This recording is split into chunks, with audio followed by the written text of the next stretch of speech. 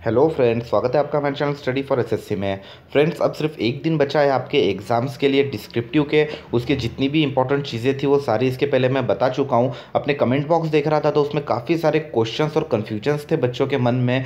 तो मैं सबको पर्सनली जाके मेरे ज़रिए आंसर देना पॉसिबल नहीं हो रहा था। और अगर देता भी हूँ तो काफ़ी ज़्यादा टाइम उसमें लग रहा था। सिर्फ़ एक दिन बचा है तो मैंने सोचा कि जो इंपॉर्टेंट क्वेश्चन हैं, जो कॉमन क्वेश्चन है बच्चों के बीच में जो रिपीट हो रहे हैं, उनके ऊपर एक छोटा सा वीडियो बना दूँ ताकि आप लोगों को डायरेक्ट वो पहुँच जाए और डायरेक्ट उसका फ़ायदा आपको पहुँच जाए। तो कुछ हम लोग इंपॉर्टेंट क्वेश्चन देखेंगे जो बच्चे पूछ रहे हैं, थोड़ा कन्फ्यूज़न दूर हो जाएगा। ठीक है तो एक एक करके हम लोग देख लेते हैं अभी।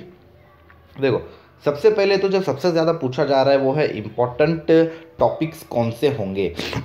इंपॉर्टेंट टॉपिक्स कौन से होंगे? इसके ऊपर मैंने बहुत पहले ही वीडियो बना दिया है, आपको अच्छे से एक्सप्लेन किया है। बहुत से बच्चों को पर्सनली मैंने मैसेज भी किया हुआ है, लेकिन शायद आप तक अगर नहीं पहुँचा है मेरा वो वीडियो वो लिस्ट इंपॉर्टेंट टॉपिक्स की, इसलिए आप लोग पूछ रहे होंगे तो डिस्क्रिप्शन बॉक्स में मैंने इंपॉर्टेंट टॉपिक्स चाहे वो ऐसे के लिए हो या लेटर के लिए हो, उनका पूरा वीडियो का लिंक नीचे दे दिया है मैंने, वहाँ से जाके आप देख सकते हो, जितने भी होंगे इंपॉर्टेंट वो सारे मैंने उसमें कवर किए हैं।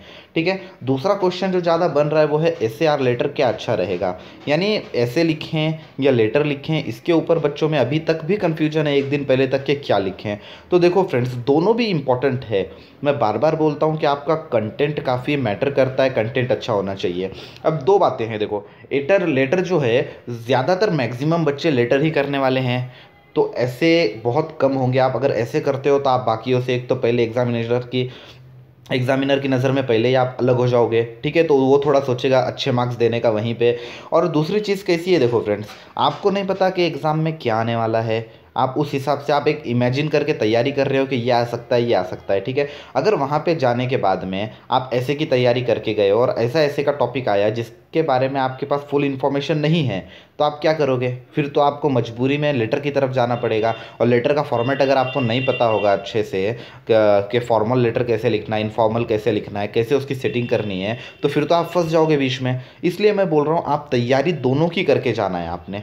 आप देखो, जो एकदम फ़ेमस टॉपिक्स है, जैसे अपना जीएसटी का हो गया, उसके बाद तीन तलाक का हो गया, दूसरे जो ट्रेंडिंग टॉपिक चल रहे हैं, ये सब चीज़ें तो आपने अभी पढ़ ली होगी। ठीक है? आप एक दिन पहले का तो वेट कर नहीं रहे उसका। तो ये सारी चीज़ें पढ़ ली। अब जाने के बाद आपका अगर जीएसटी के ऊपर ऐसे आ जाता है तो क्या करने के लिए लेटर में आप परेशान होने जाओगे? आपके पास एकदम एकदम परफेक्ट इन्फॉर्मेशन है जीएसटी की। आप पहले से तैयारी करके रखिए अपनी तो आप एकदम आराम से स्टार्ट कर दो ना सीधे सीधे ऐसे लिखना। तो ऐसे टॉपिक पे ऐसे आता है जो एकदम ट्रेंडिंग है, जिस पे आपकी तैयारी है। तो आपको मैं सजेस्ट करूँगा कि आप जो है वो ऐसे ही लिखो।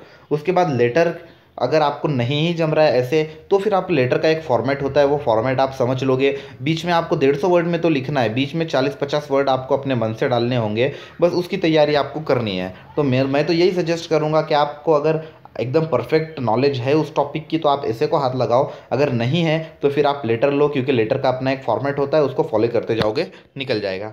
तीसरा क्वेश्चन जो बन रहा है वो है कितने क्वेश्चंस मिलेंगे? कितने ऑप्शंस मिलेंगे? सॉरी अब ऑप्शंस देखो फाइनली ये तो एसएससी डिसाइड करेगा, इसके पहले तो उसने पाँच छः ऑप्शंस दिए थे, लेकिन यहाँ पे एटलीस्ट आपको तीन, चार ऑप्शंस देखने के लिए मिल जाएँगे। ऐसा नहीं होगा कि एक एक ही आपको वहाँ पर दिया रहेगा, और उसी में से कोई एक आपको एक लेटर या एक ऐसे चुनना है। आपको तीन, चार ऑप्शन लगभग कम से कम मिनिमम दो तो मिलेंगे, लेकिन फाइनली एसएससी विचित्र है, कुछ ना कुछ उल्ट पटांग करता है, लेकिन उसने पिछली बार छः दिया था तो इस बार अगर कम भी करेगा तो तीन, चार करेगा। एक, दो पे तो आएगा नहीं। ठीक है?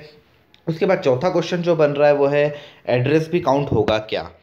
तो देखो फ्रेंड्स आपने बॉक्सेस के अंदर, जिस भी बॉक्सेस के अंदर जो भी लिखा है, वो सारे बॉक्स काउंट होने वाले हैं। आपका ऊपर एड्रेस से लेके नीचे आप लेटर जहाँ पे ख़त्म कर रहे हो एक्स वाई जेड पे वहाँ तक पूरा काउंट होगा। काफ़ी क्वेश्चंस बन रहे थे कि सर सिर्फ़ बीच में जो मेन बॉडी है, सिर्फ़ उसी के वर्ड काउंट होंगे या जो एड्रेस वगैरह हम लोग लिख रहे हैं, उसके भी वर्ड्स काउंट होंगे। तो पूरे के पूरे वर्ड्स काउंट होने वाले हैं, चाहे वो एड्रेस हो, वो पिन नंबर हो, वो डेट हो, या पूरा के पूरा कुछ भी हो एक्स वाई जेड तक नीचे, वो सारे काउंट होंगे, ठीक है?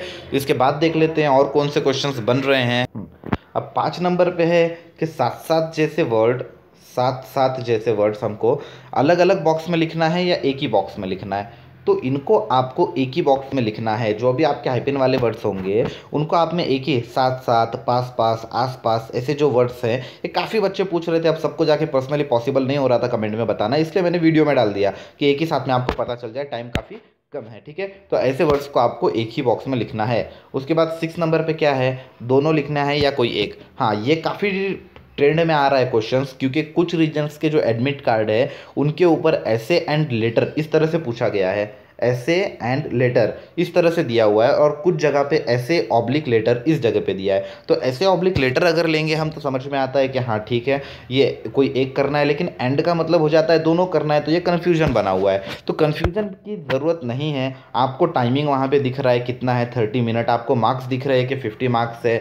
उसके बाद अगर हम स्टार्टिंग की नोटिस में जाएँगे तो पहले जो नोटिस नोटिफिकेशन डाला था वेबसाइट के ऊपर एसएससी ने, उसमें उसने ऑब्लिक दिया था, यानी या तो ऐसे या तो लेटर करना था। तो वो सारी चीज़ें देख के बेफिक्र हो जाओ। अगर एंड दिया हुआ है तो वो गलती से है, आपको कोई एक ही वहाँ पे लिखना है। ठीक है?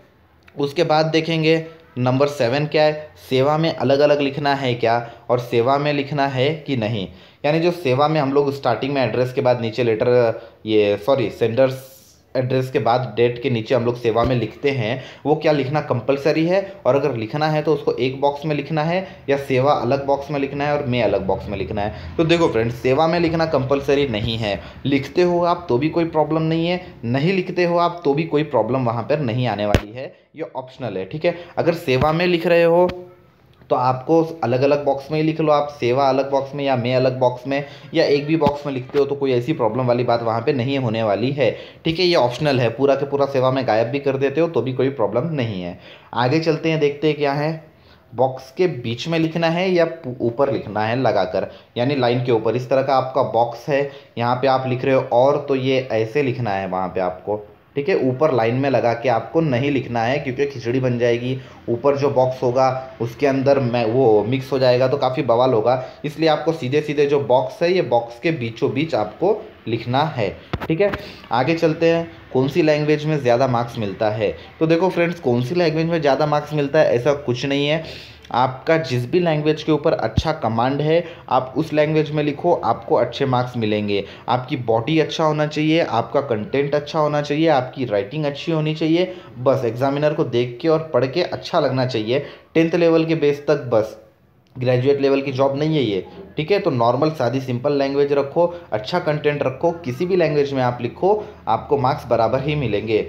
उसके बाद आगे क्या है कि राइटिंग के मार्क्स मिलते हैं क्या? बिल्कुल राइटिंग्स के आपके दो तीन मार्क्स बिल्कुल मिलते हैं आपके। इसी तरह बॉडी के मार्क्स मिलते हैं। उसके बाद जो आपका एक फ्लो होता है, उसके मार्क्स होते हैं सब्जेक्ट के मार्क्स होते हैं। किस तरह से एसएससी जो है आपके 150 वर्ड का आपका लेटर होता है और 250 वर्ड्स का आपका ऐसे होता है। अब एसएससी 50 मार्क्स को किस तरह इसके अंदर डिवाइड करता है, ये पूरा अच्छे से समझना अगर आपको है तो उसके ऊपर मैंने एक वीडियो बना दी है, अच्छी खासी पूरा एक्सप्लेन किया है कि राइटिंग को कितने मार्क्स है उसके अंदर पैराग्राफ्स को, कितने मार्क्स हैं बॉडी को कितने मार्क्स हैं सेंटर्स एड्रेस को कितना, यानी किस हिसाब से फिफ्टी मार्क्स डिवाइड होते हैं, उसके ऊपर वीडियो बना दी है, उसका भी लिंक नीचे है, अगर आपको देख के समझना है तो आप वहाँ से जाके समझ सकते हो, ठीक है? आगे चलते हैं, नीचे क्या है कि ब्लैंक बॉक्स भी काउंट होगा क्या? यानी आप पैराग्राफ जो लिखते हो, इस तरह से आपके बॉक्सेस होते हैं हाँ यहाँ पे आके आपका पैराग्राफ ख़त्म हुआ, आप नीचे से स्टार्ट कर रहे हो, इसको आपने छोड़ दिया। तो ये जो ब्लैंक बॉक्स है, ये काउंट नहीं होगा। काफ़ी बच्चे बोल रहे थे कि, सर, वो भी काउंट होगा क्या, वो भी होगा क्या? तो नहीं, जिन बॉक्सेस के अंदर आपने लिखा है, सिर्फ़ और सिर्फ़ वही बॉक्स काउंट होने वाले हैं। ठीक है? आगे चलते हैं, देखते हैं और क्या है। हाँ 150 या 250 वर्ड से ज़्यादा लिखा तो क्या होगा? यानी ऐसे हमारा लिखते लिखते फ्लो में जा रहे हैं हम लोग, लेकिन 150 पे कंप्लीट नहीं हुआ। दो चार पाँच दस वर्ड्स आगे बढ़ गए या और लेटर में 150 की जगह 155 60 हो गए तो क्या होगा? देखो, पाँच दस वर्ड अगर बढ़ गए तो वहाँ तक ठीक है टेन परसेंट का रिलैक्सेशन तक, या पाँच दस वर्ड पहले ख़त्म हो गया तो भी वहाँ पर चलेगा। लेकिन अगर उससे ज़्यादा होता है तो सीधे सीधे आपकी कॉपी या तो चेक नहीं होगी, या फिर निगेटिव मार्किंग आपको वहाँ पर चली जाएगी सिलेक्शन आप भूल जाओ। एग्जामिनर क्या करता है? देखो फ्रेंड सबसे पहले इस तरह से आपकी शीट वहाँ पे दी रहेगी, इस तरह से, ठीक है? इस तरह से वहाँ पे दिया रहेगा। ये समझो आपका एक पेज है। अब इसमें कितने बॉक्सेस है? देख लो one two three four five पाँच, दस, पंद्रह, बीस बीस बॉक्सेस है। इस तरह से वो देख लेगा कि एक पेज के ऊपर अगर यहाँ पे मैंने बीस बताया, उनके इसमें लगभग अगर हंड्रेड बॉक्सेस है। तो वो देख लेगा कि आपने अगर ऐसे लिखा है तो आपका ढाई पेज में हुआ है कि नहीं हुआ है? क्योंकि एक पेज में अगर हंड्रेड बॉक्सेस है तो ढाई पेज में टू फिफ्टी बॉक्सेस हैं। तो वो देखेगा, आपने ऐसे लिखा है, ढाई पेज में कंप्लीट हो रहा है कि नहीं हो रहा है? आपका ऐसे पौने तीन पेज तक भी गया है तो ठीक है, लेकिन वो देखेगा अगर कि तीन चार पेज तक आपका ऐसे चला गया है तो वहीं पे आपको मार देगा रॉन्ग क्योंकि पता है सिलेक्शन होने वाला नहीं है, आपका हो सकता है कॉपी वहाँ पे चेक ना हो। ठीक है, इसी तरह लेटर है तो वो देख लेगा, आपका डेढ़ पेज से ज़्यादा तो नहीं हो रहा है। ज़्यादा हो रहा है, दो पेज तक भी गया तो ठीक है बहुत। अगर दो से आगे जा रहा है तो वो चेक ही नहीं करेगा टाइम वेस्ट ही नहीं करेगा। तो इस चीज़ का आपको ध्यान रखना है कि पाँच दस वर्ड से ज़्यादा ना हो। इसके बाद आगे चलेंगे तो अब स एक बॉक्स में लिखना है या अलग अलग यानी एक्स वाई जेड आपको जैसे नाम की जगह पर आप यूज़ करोगे तो आपको वो एक ही बॉक्स में लिखना है एक्स अलग वाई अलग और जेड अलग बॉक्स में ऐसा नहीं करना है, ठीक है? फिफ्टीन नंबर पे क्या है? रॉन्ग हुआ तो क्या होगा?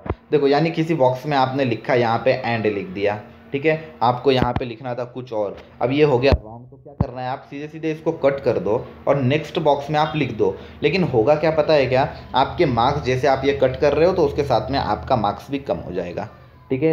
हर एक एक चीज़ का, एक एक पॉइंट का वहाँ पे आपको ध्यान से लिखना है और हर एक पॉइंट का, हर एक चीज़ का वहाँ पे मार्क्स है। पर्सनल इन्फॉर्मेशन आपको गलती से भी नहीं डालनी है। इसके पहले वाले वीडियो में मैंने आपको बताया था कि किस तरह से अनफेयर न्यूज़ के चार्जेस लग जाते हैं और आपकी कॉपी चेंज चेक नहीं होती। आउट ऑफ़ मार्क्स आपके रहते हैं, फिर भी आपको वहाँ पे ज़ीरो मार्क्स एक अंडा से ही दिया जाता है।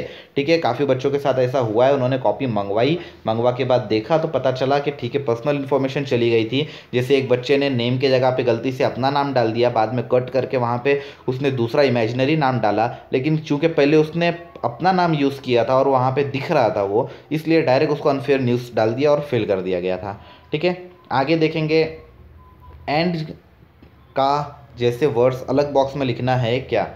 जी बिल्कुल, का, की, कू, के और इधर ये सारे वर्ड्स जो हैं, ये अलग अलग बॉक्स में आपको लिखना है, एक में मिला के नहीं लिखना है, की, का, जो भी रहेगा, वो सारा अलग अलग बॉक्स में लिखना है, ठीक है? तो ये जो मेन मेन क्वेश्चंस थे, जो ज़्यादा पूछ रहे थे बच्चे, वो सारे मैंने आपको बता दिए। और भी कुछ क्वेश्चन थे, ये वो इसके पहले वाले वीडियोज़ में मैंने आपको बता दिया था, वो भी डाल के।